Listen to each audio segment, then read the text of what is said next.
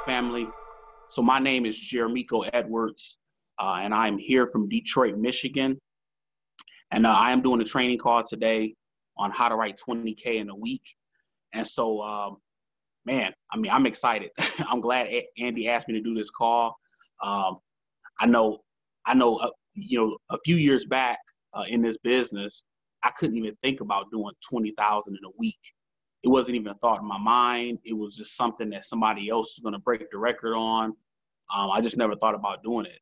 and now they're asking me to do a call on it. So um, I appreciate being asked to do this call. Uh, I appreciate being in this company. Um, I appreciate the opportunity that we have. You know, being being here in Michigan, um, there's been a lot of things going on. Um, you know, we are still on lockdown, and so you know, different things can go through your mind, right? Like when things are going on in the world, different things can go through your mind like can my business still succeed? Um, can i still make the changes needed in order to hit my goals? You know like different we still wonder these things even though you know there's things going on outside of us. And so i want to talk a little bit about mindset before we get started on how to write 20k in a month. Um, because you if you don't have your mind right nothing else will happen okay? I just want to set the stage and i'm going to talk about want to talk about new people writing that type of business, and I'm going to talk about people who's been there a few years, and I'm going to talk about people that's been been here about five plus years. Okay, so I'm just going to help. Going to help out a gambit of people in this call. Um, this call will go about 30 minutes, and um, hopefully I answer all your questions. If you if you have any questions, you can raise your hand or you can type the question in. It'll come across at the bottom of the screen, and then I will answer your question for you. All right. Um, so again, my name is Jeremeko Edwards. I've been um, I'm out of Detroit, Michigan, single father, two girls. Um, and I was starting this year, 2020, my trajectory was like this. I was taking off. I was making things happen. This was the biggest year. And even even now, I have gotten more money deposited in my bank account than I've ever had in the past nine years that I've been here. Like so it's just I mean, this is my biggest financial year ever. Financial income year biggest year ever. Um, now, bad thing is, you know, it's like the world is closed down, so you can't even spend the money and enjoy it. But it's like that's fine. You just keep stacking it up. Um, but what's interesting is that different things that I did this year, I didn't do these things the years past. So I'm going to be teaching on what I did this year, and then kind of what you know what I took from some of the top guys as well. Because um, if you're if you're in the top 50, um, it's it's a dog fight it's a dog fight to stay in the top 50. I will tell you, you know, when this COVID first hit, I allowed my mind to take over my body, meaning, oh, you know, I'm, you know, I can't do anything about the situation. Everybody's having a hard time. Um, I just allowed that thing to happen in my mind. now, the good news about this company is you have competition.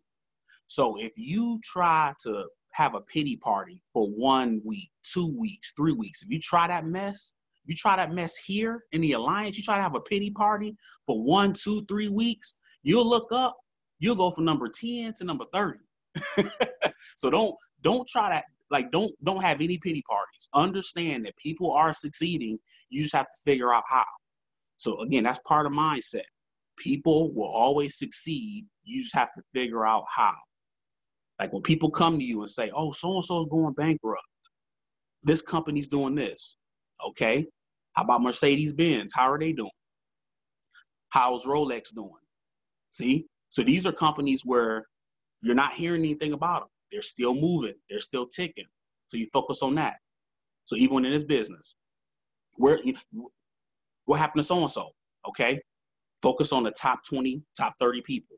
Okay, who cares? Does that make sense?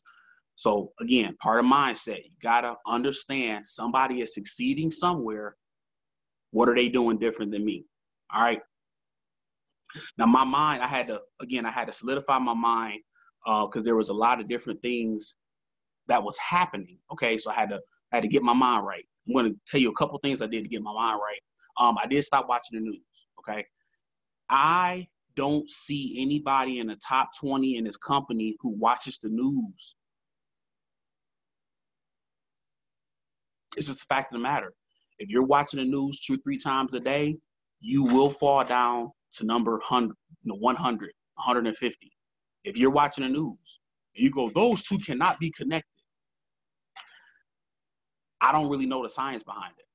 All I know is if you don't keep your mind right, you will fall back. If you don't keep your mind right, you will not make the money you want to make in the midst of this pandemic, where again we have the best opportunity out there.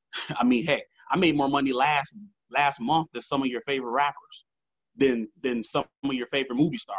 I made more money than them last month. So somebody go recruit Justin Bieber and tell him we got opportunity. Somebody go recruit Denzel Washington and tell him that we got opportunity here because we working and there is no more Hollywood. You know, it's like that. You know, not saying they won't come back. I'm just saying, hey, we got a way we can make some money while they're, you know, in quarantine. So keeping keeping your mind right, focusing on what you can do and what you can't do. I've never seen so much free advertisement for our business. You know, and again, this is all part of part of mindset. So I'm going to go into kind of what I say to people. Um, but again, this is all part of mindset. There's there's never been since I've been in this business, I've never seen so much free advertisement. People need insurance like crazy. The riots and different things is happening. People need insurance. I'm getting that deep into my heart. I'm getting that deep into my heart. People need what we have. Okay? People need what we have. People need insurance. They need coverage. Why am I getting it deep into my heart that people need what we have? So that it can come out of my mouth in the right way. So you have to get your heart in the right place. That way things can come out of your mouth in the right way. Okay. Coming into this business some years back, I didn't really pay too much attention to mindset. I used to say things like, just give me the leads and get out of my way. or either if you could just teach teach me the skill set, I'm not kidding. A couple years back, they used to talk about mindset a lot. I was always thinking, I wish Andy would talk more about how to close the deal. I wish Andy would talk more about this. Like, you know, some of the leaders were trained, I'll go, I, w- I wish they would just tell me what to say on the phone, what to say in the home, and they would talk about mindset. I'm like, well, I don't get it. and then I started to change my mindset and I started making more money. I was like, wait a minute, I missed the boat. I missed the boat I mean, I got it now, but I'm saying like back then I missed the boat thinking all I need is a script. All I need is what to say. But it don't matter. Like, if your mind isn't right, it don't matter. And Think and Grow Rich. Now again, we're all reading you know, the same books. And Think and Grow Rich, Think and Grow Rich says your thoughts are things. So let me get this straight. You can have a thought and it can become a wall. And it can block you.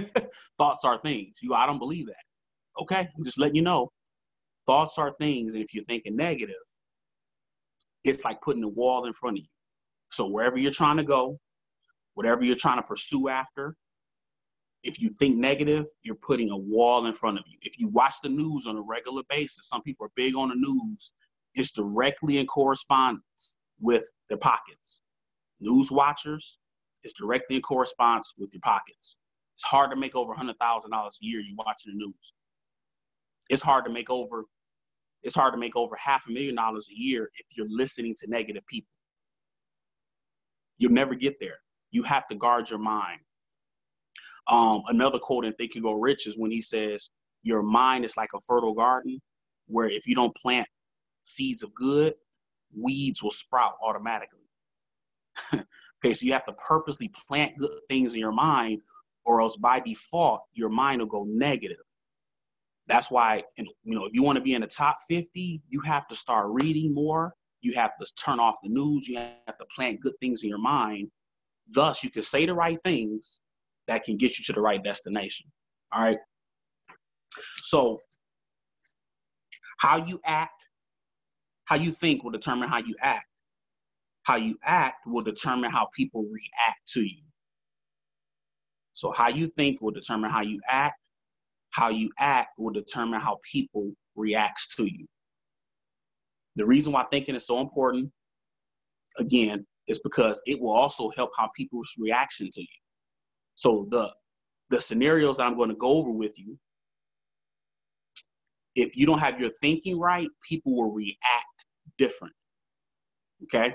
So again, you have to go into it with your mind right, with your mind knowing that people are succeeding, people need what I have. Um, who else can I help?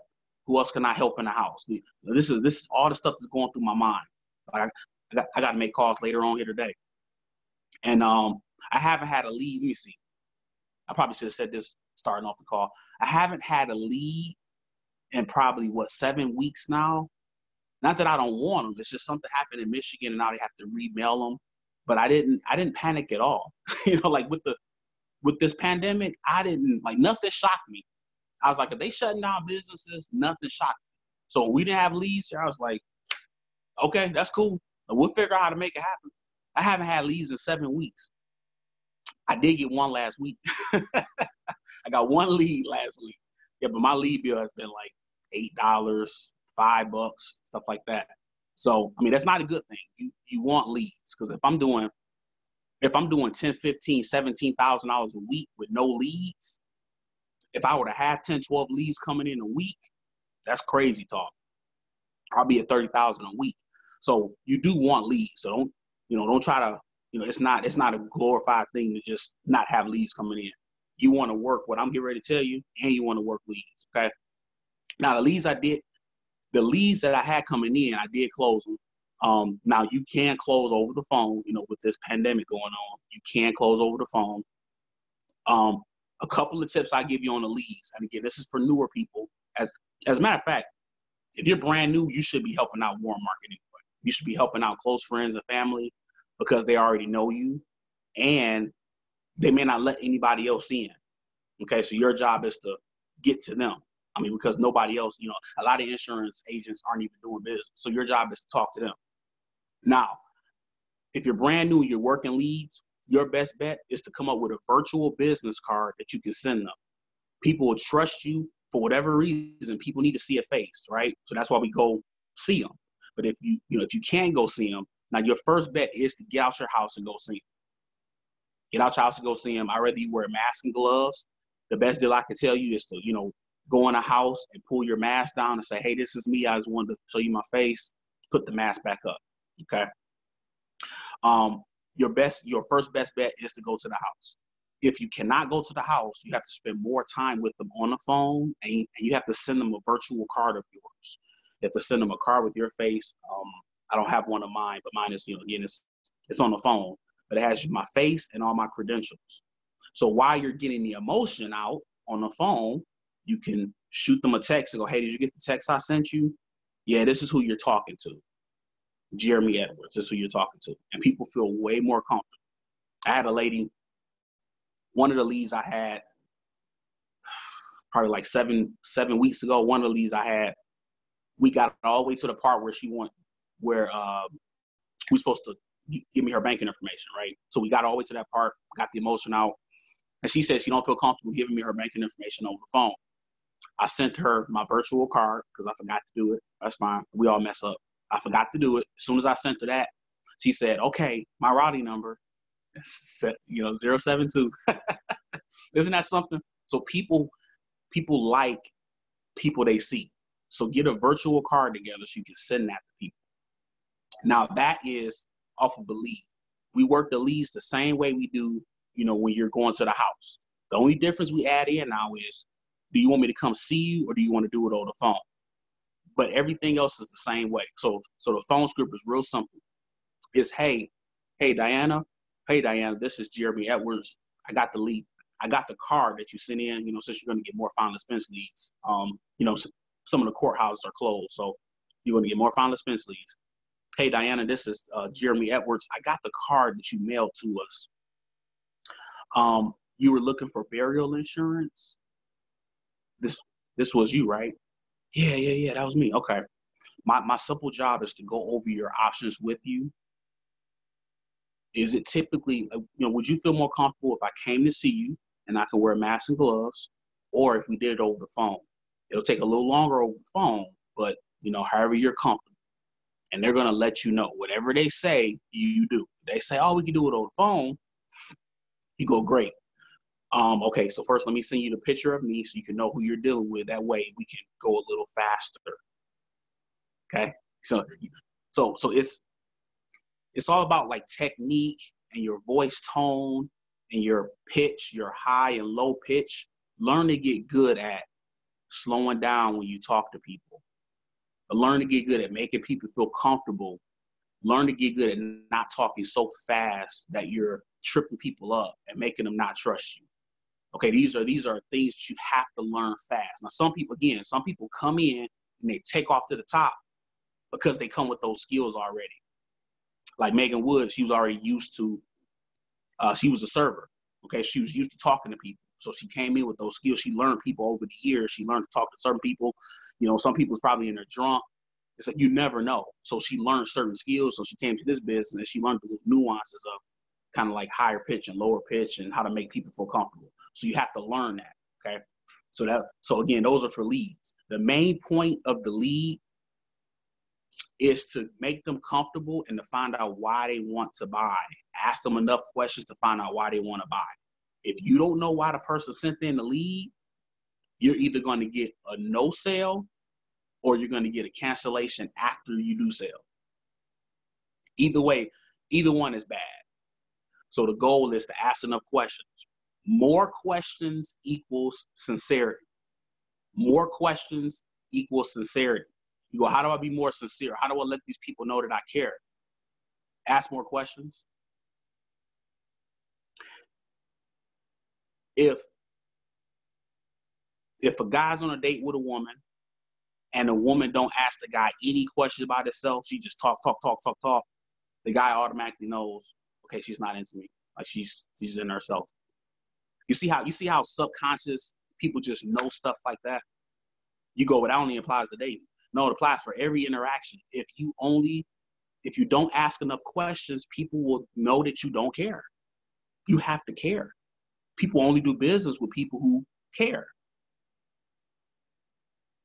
More questions equals more sincerity.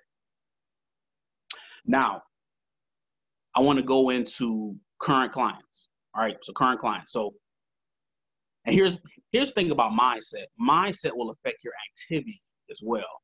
So my mind, my mind was thinking, I need to call all my clients and let them know that these companies are tightening up their underwriting. So this is my mindset. Oh my goodness, these clients are not taking people over 75. These clients are, you know, causing people to have to fill out this whole COVID questionnaire. I don't know who's going to contact COVID, contract COVID. I don't know who's, you know, who's going to die from. I don't I don't know these things. Let me call as many people as I can. So now I have an urgency. With this urgency, with this urgency, I'm able to be sincere, right? So I started calling through my clients. guess who? Guess who the first clients were that I called through? All my lapse policies. So if it says lapse or canceled, that's why I love Foresters policies too. If you've been here over two years, and you got Foresters policies, you can go on Foresters website. Well, you know, you know what? CFG too. CFG is pretty organized. So you can go on Foresters and CFG's website. You can go to all your clients and you can see whose policy is lapsed, whose policy is active. With foresters, you can take out all the active policies and you can just put canceled policies or lapsed policies. So you'll see all the lapsed policies. You just go down and call. When you call, what do you say?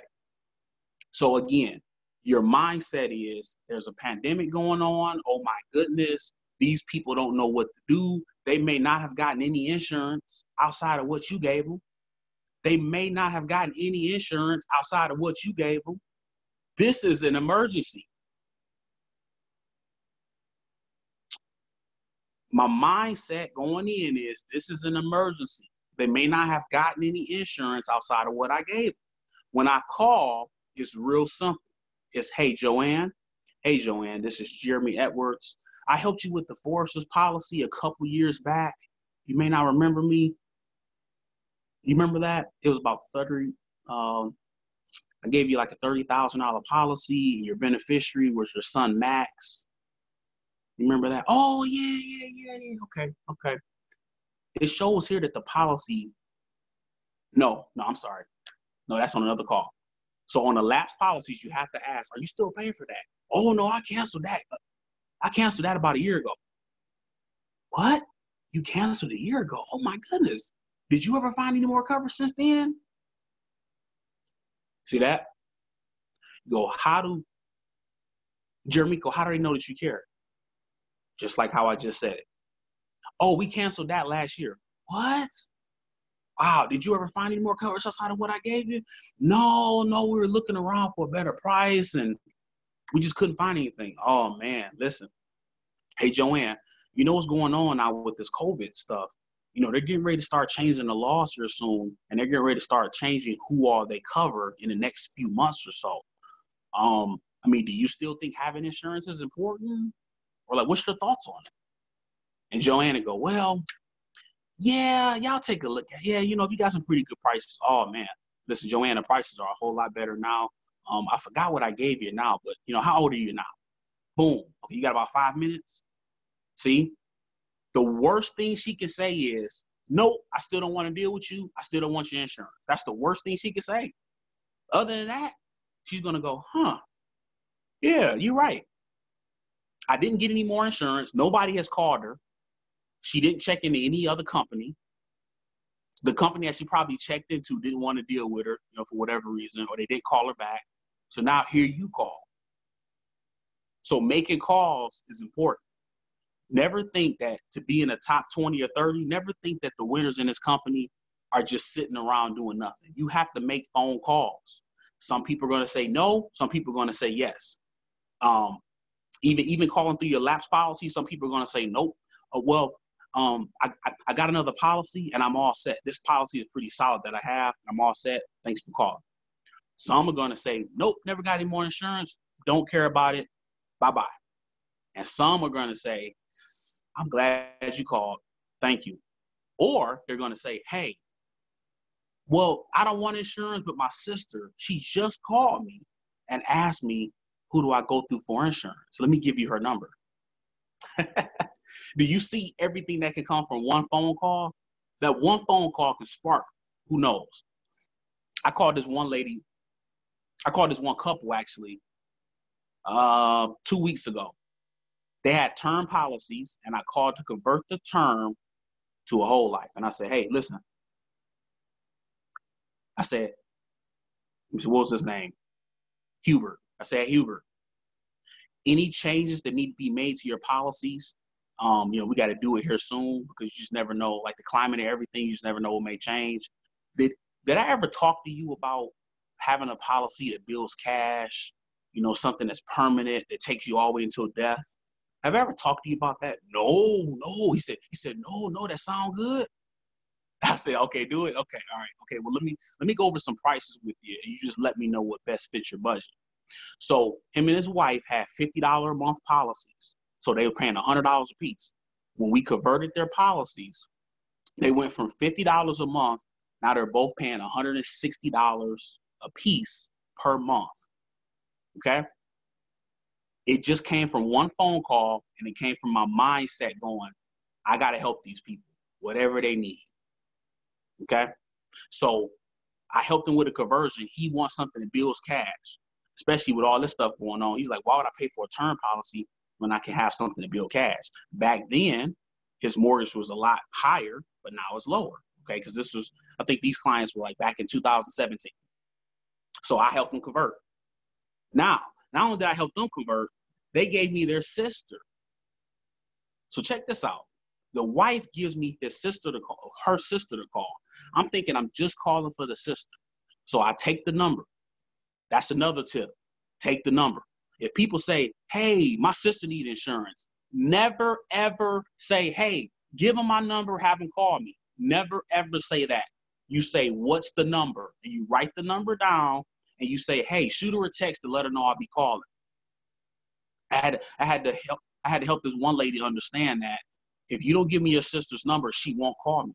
People don't call for life insurance. We have to call them. So if you know if somebody need my help, give me their number and I'll call. I call her sister. I end up writing her sister, her husband, and their two kids. I'm thinking I was just calling her sister. Isn't that something? So for one phone call from from a conversion, then I end up writing two terms and two children whole life. That's crazy. One phone call can do that. Okay? So when you're calling through all your lapse policies, when you're calling through now, What do you do when you have clients where their policies on the books? If you've been here a couple years, you got some clients. I don't care what you wrote them. It don't matter what it is. I don't care if it's a hundred thousand dollar policy. You need to call through every single one of your clients and go, hey, um, hey Rob, I know you got a hundred thousand dollar policy. I was calling to check, make sure you had every, you know, everything set up. I was calling to make sure you had all your coverage intact because what's going on out here is these companies are covering. I mean, they they're they're limiting who who they're going to take on as far as new clients. Okay, they're limiting it. So I just want to make sure that you had everything that you needed for Laura, you know, your wife. I just want to make sure you had all the coverage you needed. Just by saying that, it sparks. It sparks the brain by going, man, wait a minute, do I? I know I got a hundred thousand. You'll be surprised that people go, well, how much is an extra fifty thousand? Boom, that's a policy. Well, how much is an extra hundred thousand? Boom, that's a policy. Here's another question you can ask. Is there anybody else in the house who need help? Now keep in mind, this is what you're saying on leads, current clients, and referrals. I don't care who it is. With this pandemic going on, you have to be very effective and efficient. If you're not milking the crap out of every lead that you get, if you're not milking the crap out of every referral that you get, you got to milk it. So who else in the house need coverage? Who else can I help? Um, who else? Who else's burial do you have to pay for? Who else's burial are you responsible for? Who's on dumpster duty? Who's on dumpster duty for your body if you know God forbid something happens? Like is a single guy. Who's on dumpster duty for you? Oh, my mother. Do your mother have insurance? I'm asking questions, and, and again, you're you're sifting through and getting your own leads. You so so, and that's all I've done.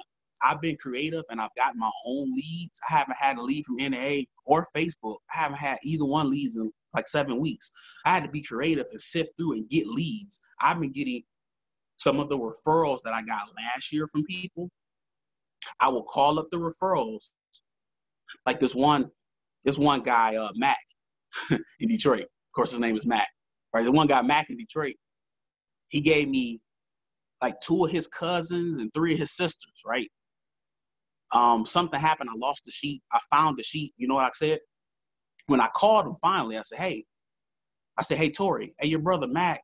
Um, I helped him out with some insurance a while back. I tried to call you. I don't know, you know, like something happened, you know, whatever. that We couldn't get in contact with each other. But hey, in the midst of this pandemic, I just wanted to make sure that I covered his whole family because he did list you here, somebody very important who we want covered. Um, by chance, do you have any insurance in place, or like, did you need help with this? you see how it's very like non-threatening. You see how I'm not like bullying my way in. I'm just I'm just simply going, hey, hey, do you, you know, you know, do you by some chance have insurance or do you need help with this? So this is how I ask my questions. It's very non-threatening. It's not, you don't sound salesy. So that's the thing. Like in order to get people to move, you have to be sincere you have to ask good questions and you want to be slow. Okay, you want to be slow and you don't want to sound salesy. You don't want to say stuff like, "Hey, hey, if you don't buy it now, the price gonna go up." Like, that's, I mean, that's just that's just salesy. They're gonna tighten up their underwriting here soon on on new clients that they're gonna take on. I just wanted to make sure that you had all the coverage that you needed. Okay. You see how you see how much better that sounds. You see how calm and soothing. With everything going on, you need to be the calm in their life. You need to be the soothing in their life. When you call, they have to feel better that you called than before. Okay? So you have to be calm, you have to be sincere, you have to be soothing. You have to ask the right questions. Okay? Um, you have to make a commitment. You have to make a commitment. I'll probably end, probably in like another, okay, I got like another five minutes. You have to make a commitment that you are going to be one of the top producers. Once you do that, your work ethic will change. The only difference in this business between people is their work ethic. Because again, I tell you, why everybody else was pouting, you know, why why most of the company was pouting like when COVID first hit and stuff started shutting down and people was trying to figure out how to go from, you know, in the home on the phone. Megan Wood, she took off and now she's what, 200,000, 200,000 in the company. Like she, she, she has written like 200,000 in the company. She's number one in the company. I'm just saying like why everybody was sulking, she was, you see what I mean? So you cannot take a day off. You cannot rest. Um, I mean, you, I mean, just, I mean, just know, just know that people are out there working, and so that helps me because I mean, I I need to know I got competition. Seriously, because you could think you're doing good, and you like, hey, you got a fifteen thousand dollar week in this business, and then somebody come around and have a thirty thousand dollar week. So just when you've written enough business, you have to keep writing business. I don't care how big your premiums are. When you get off this phone, I don't care how big your premiums are today. I don't care if you got $300 a month and you got another one that's $400 a month. You got to keep writing business because there's guys out there getting $600 a month and they're study writing business. They're not posting it. They ain't talking about it. You just see it in the leaderboards. Start looking at the leaderboards. You should be on band. You should be on band twice, at least twice a week. If you're on social media more than you're on band,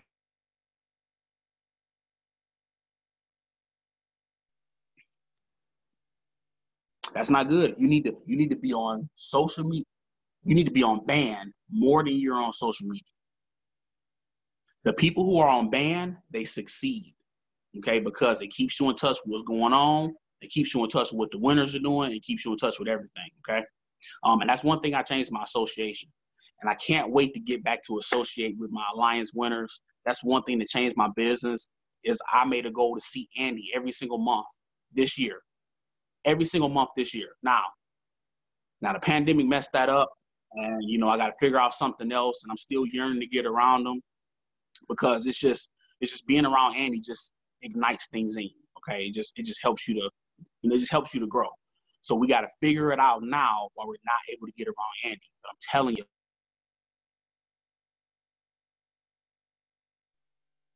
learn how to be sincere, learn how to ask questions, and learn how to talk to people right and just stay calm, keep a cool head. No matter what they say, don't get all discombobulated. Just stay relaxed and just go, oh, wow, okay. If they go, no, I got rid of that policy because blah, blah, blah. I don't care. If they raise their voice, that's fine. You just stay calm and go, oh, okay. Wow, so what happened? So, I mean, so, all right, well, well, that's all I have. I don't see any questions at the bottom. Uh, let me see here.